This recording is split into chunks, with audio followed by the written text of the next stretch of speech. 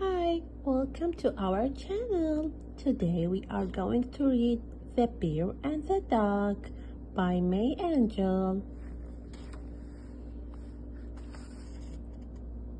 It was the end of winter and the day had barely started. Duck blinked, smoothed his feathers, and stretched. He took running start ready to fly off but his legs and wings got all tangled up, and he rolled head over heels until a crash. He landed beak first in a jumble of a branch. The racket started to veer from his slumber. What's going on? He grumbled. It is spring already? And he went back to sleep.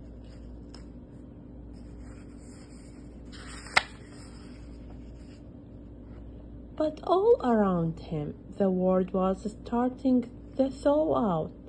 Swelling and rather rumbled, Bear finally emerged from his den. Duck winced in the pain, but barely called out, Come any closer and I will break your head.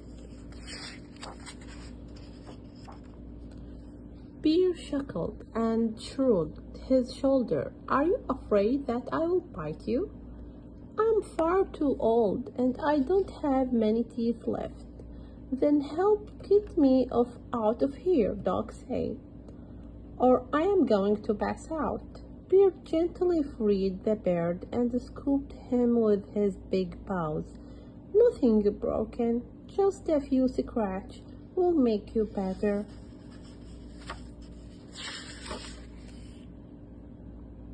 First, let's find you some shelter, Bear said. My den would be best. Bear blazed, Duck on his old bedding. It is a bit messy, but it's comfortable. Stay here and don't move, he told Duck. I have got some things to take care of.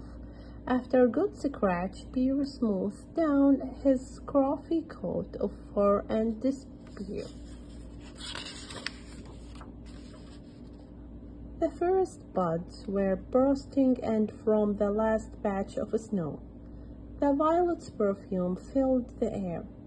Bear ate some and brought some back for a duck, who flinched when Bear placed the food front of him.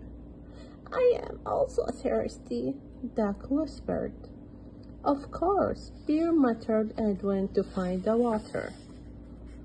After a few days, Duck was finally well enough to leave the den. The two went for a walk, with the duck riding on a bear's back, and while a bear bathed, Duck splashed around, sometimes lying in the grass. Duck would puff up his chest and start a story. He would tell stories about escaping fearsome hunters and flying past mountains that's a stretch up to touch the moon. Bear would grunt, admiring duck stories, or listen to with one ear as he does. White Duck gone, the day seemed empty.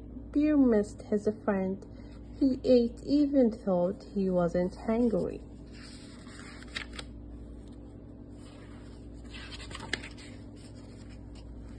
Then came to the icy winds and the first snow just like every year before Bear settled into his den. I may never see Duck again, but I guess that is life, as they say when sad things happen, and the bear falls asleep for a long winter.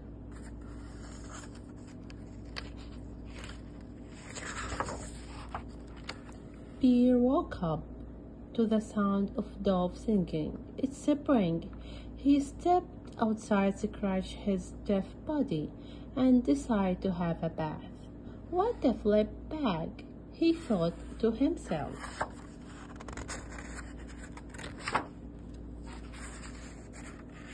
Bear ate some grass, then warmed by first ray of the sun. He lay down and closed his eye. like a dream, a quack, a quack. That is when he heard voice in his ear. Come on, get up, old bear. It's me. I am back. It is about time. Bear replied grumbly. Duck stroked Bear's head. They sat side by side. I have so many things to tell you. Duck began. But no, you go first. The end, and they stayed together. Don't forget to visit your friend as much as you can. Thank you for watching.